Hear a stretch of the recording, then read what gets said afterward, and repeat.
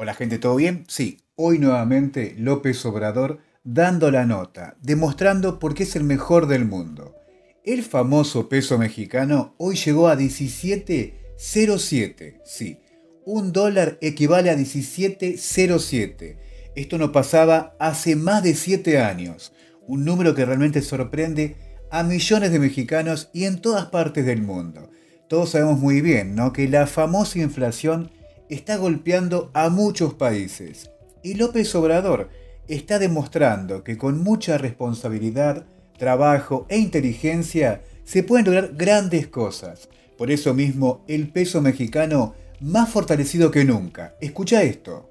La Reserva Federal, como el Banco Central de Europa, han remarcado que la inflación sigue siendo el principal problema en todo el mundo al continuar muy por encima de sus respectivos objetivos del 2%. Al día de hoy, las principales economías están resistiendo mejor de lo esperado en el escenario de precios altos y de subidas en tasas de intereses. Sí, gente, un orgullo. La divisa mexicana tocó 17,07 pesos por dólar al mayoreo. Y sí, un nuevo récord este 2023 esto significa una apreciación de 1.18% en la semana y 3.44% en el mes y 12.33% en lo que va del año. Hay que remarcar algo importante. Esto fortalece la divisa mexicana porque favorece a los importadores netos y a quienes tienen deudas en dólares. Y como dijimos al principio, este es un nuevo récord y no pasaba hace 7 años y 5 meses.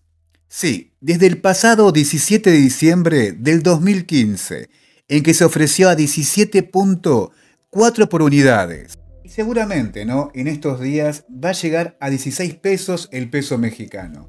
Creo que no es una exageración, una fantasía. López Obrador está demostrando con trabajo que se pueden lograr grandísimas cosas por eso mismo, cada día más fortalecido el peso mexicano. Y bueno, vamos a la Argentina. Escucha estos datos que realmente no son positivos. La inflación de Alberto Fernández duplicará a la de Macri, triplicará a la segunda gestión de Cristina Fernández de Kirchner y será nueve meses mayor a la de Néstor Kirchner. En 41 meses de gestión, acumula una suba en precios de 387%. Esto es según datos de la Fundación Libertad y Progreso.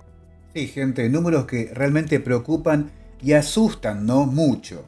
¿Escucharon bien? Acumula una suba de precios de 387% desde que está Alberto Fernández. Un número que realmente se ve reflejado ¿no? en el bolsillo del pueblo argentino.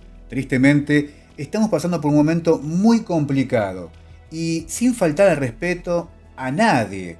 Esto creo que nunca pasó y nunca se vivió. Y no estoy exagerando ni criticando a uno ni defendiendo al otro. A mi parecer, hoy en día lo que se vive nunca pasó. Seguimos. Ofertas dolarizadas, la otra cara de la inflación en un kiosco rosarino.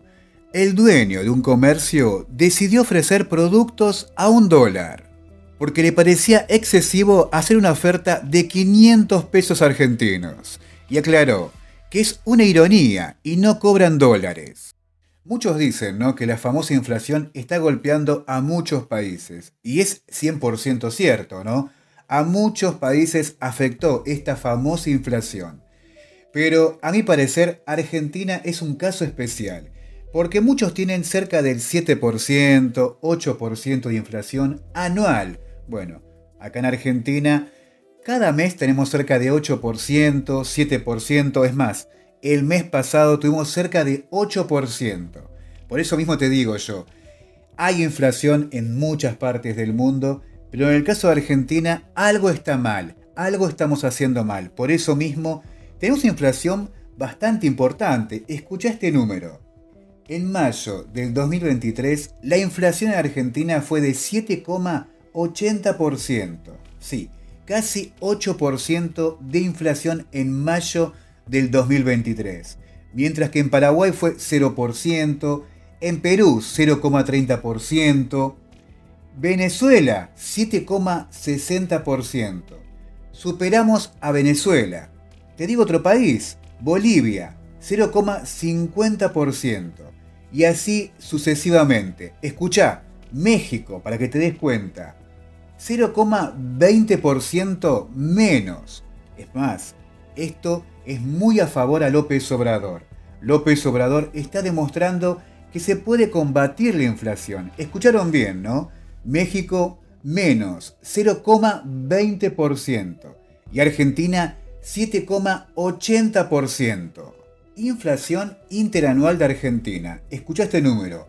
114,2%.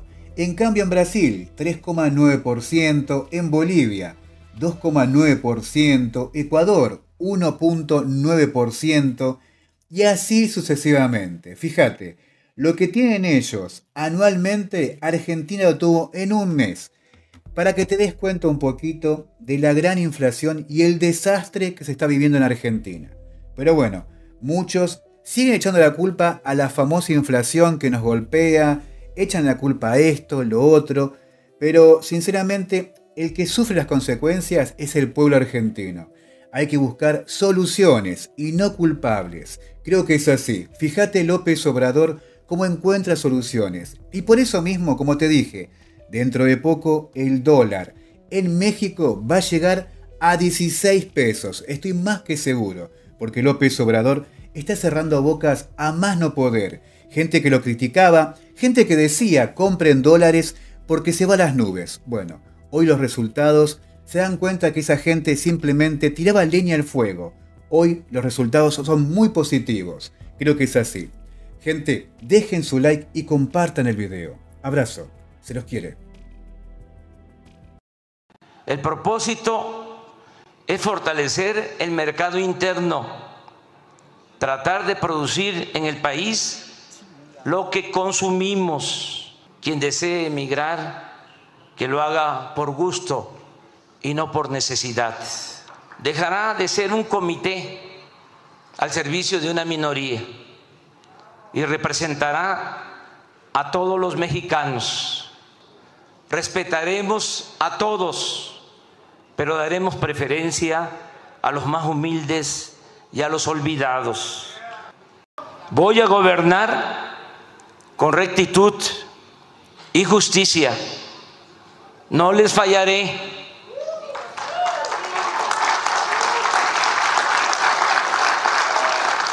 No voy a decepcionarles. No voy a traicionar al pueblo